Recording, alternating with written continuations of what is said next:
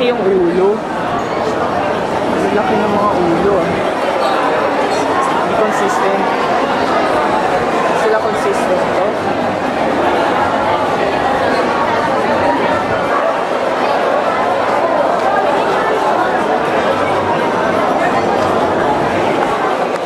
Teka, teka, mali eh.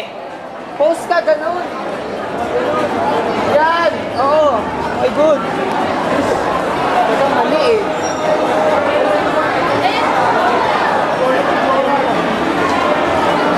Ay, good. Good. Okay na yan.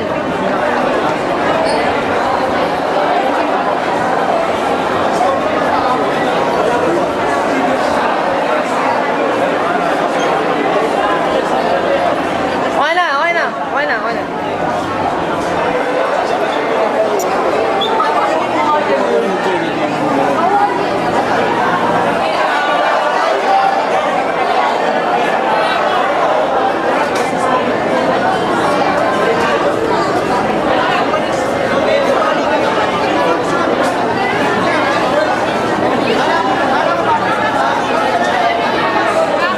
Ay, ano, yung lahat sila na version.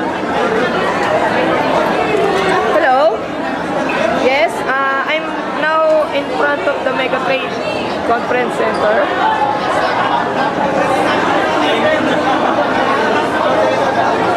Hello? Yes. Oh, where are you now? Yes, nandito rin ako sa Mega Trade Hall 3. Malapit ako dito sa Nakita namin ni Mio and Rafael, tapos na. Pero, oh shit, tapos na yung malaga pala liga sa kanila. Tapos na cosplay catwalk, group cosplay na! At nandito kami para sa nilalang na tinatawag nilang Mikuru Asahin. Ibigay niyo na sa amin ngayon din, kundi wawasakin namin ang mundong ito. Laro na! Tapos namin ibibigay si Mikro sa inyo. Maglaban lang tayo. Ano ba Harvey? Mag-isa ka lang muna. Hindi lang ikaw may kinalaman dito. Pakinggan mo rin sana kung tingnan namin. Masama ito. Alam naman natin na kapag ngayon sila rin, ay maaaring mangyari yung pinakapakita natin. At alam niyo yun, yun. Bahala na. Handa kami lumaban sa inyo. Hindi ko ibibigay sa inyo si Mikro. Pinagkakitaan kaya namin siya. Hey, maaaring nga kami mga ipis mula sa kalawakan. Ngunit civilized kami. Hindi kami mga mababagang pumili nila tulad ng iniisip nyo. May alam ko mas magandang pa para maayos ko. Winners, let's get ready to die.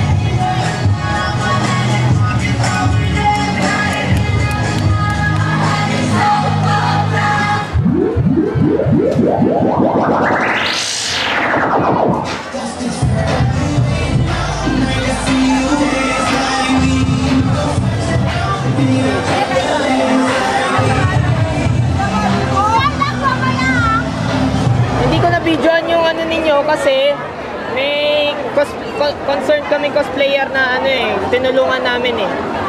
Kanina. Sino? Nakakatakot. Yung Akari. Ano ba ano ba gagawin? Ay, ano ba gagawin nyo? Mag-interview daw. Interview. Sino kaya? Kuya Raminyo. Siya na nga lang muna. Ikaw muna. At, ah, Ah, may gagawin ba kayo? Sabi ko si May gagawin ka ba? Si Kana eh. May gagawin ka? Hindi, sa Record. record natin eh. Eh... Sila nga eh. Naka-record. Ah,